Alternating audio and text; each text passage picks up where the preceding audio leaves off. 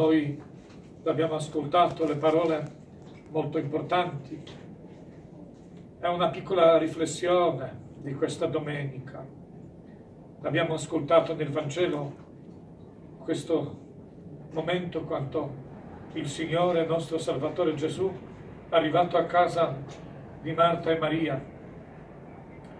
E loro casa si trovava circa tre chilometri da Gerusalemme, ma Gesù spesso veniva a questa casa perché lì era suo amico Lazzaro, quella casa di amicizia, perché lì era sempre posto, hanno aspettato sempre lui. Allora noi oggi siamo qui a pregare, siamo qui a dire Signore, vogliamo posto per te nella nostra casa.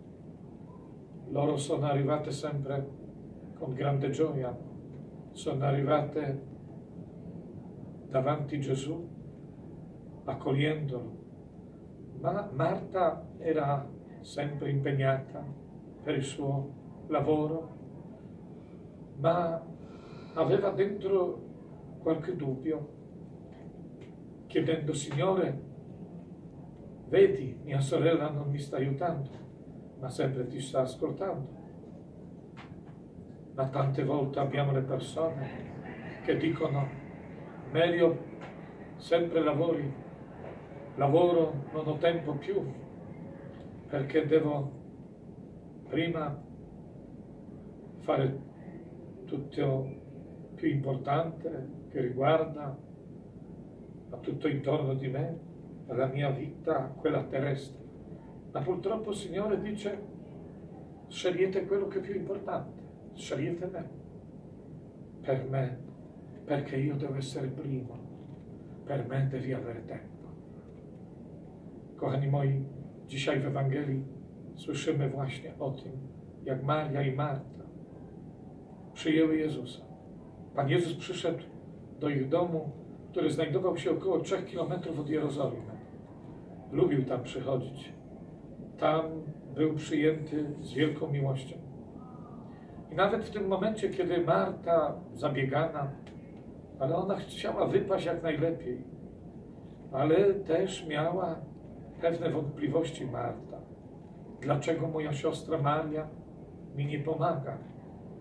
A Jezus mówi, bo obrała to, co najważniejsze.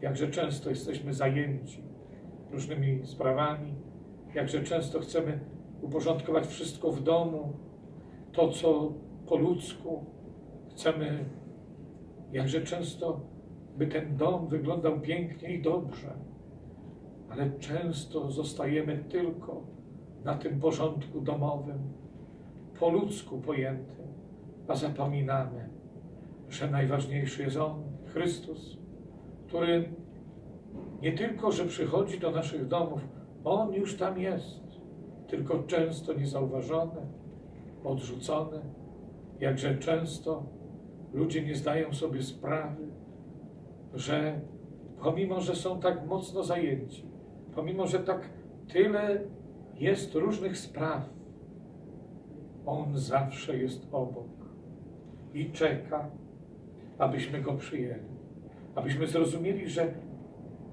to jest najważniejsze, byście byli dla mnie, byście umieli ten czas ofiarować mnie, bo wszyscy do mnie przyjdziecie. Amen. Panie Boże, wielki zapłat. Wyznajmy wiarę